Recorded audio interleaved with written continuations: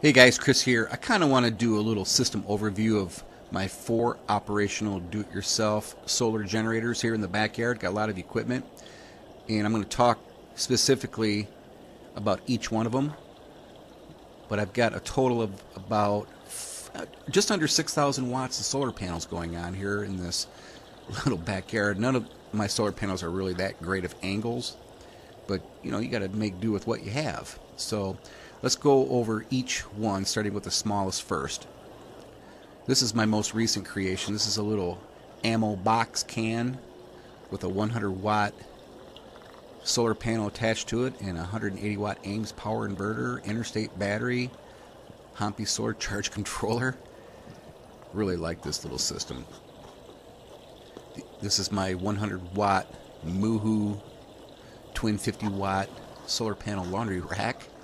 Okay, on this system here, I've got, I just pointed to the new panel I put up. I got 300 watts in Renogy solar panels connected to my garden solar generator in a DeWalt box. I've got one Trojan 31 AGM battery sitting in there and an AIM 600 watt pure sine wave inverter. This is the cool part right here. This is all the buses for the garden pumps and the light.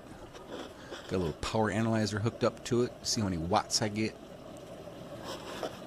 And another little Hompi solar charge controller.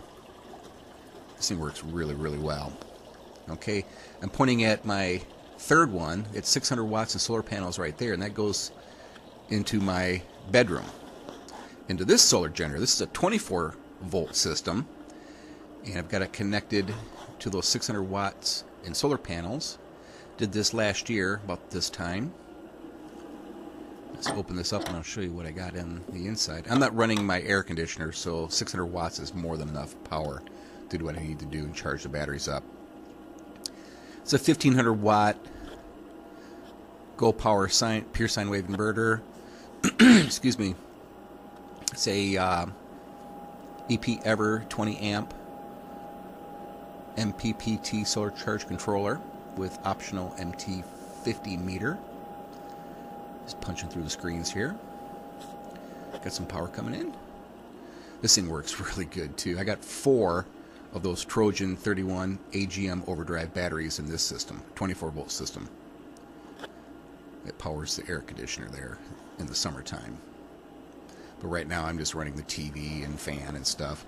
Alright, here's my main system for the home. This has 4,900 watts of solar panels attached to it, three arrays, 1,100 amp hours in batteries, Trojan 6 volt, L16 size, three Midnight Solar Classics,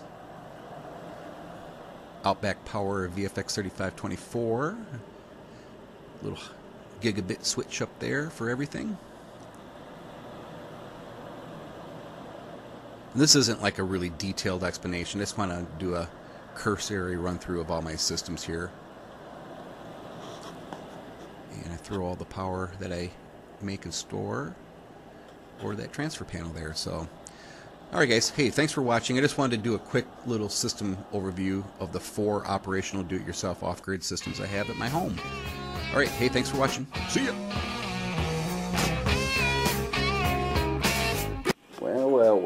Do we got here? What you do, Clyde? Catch a bird?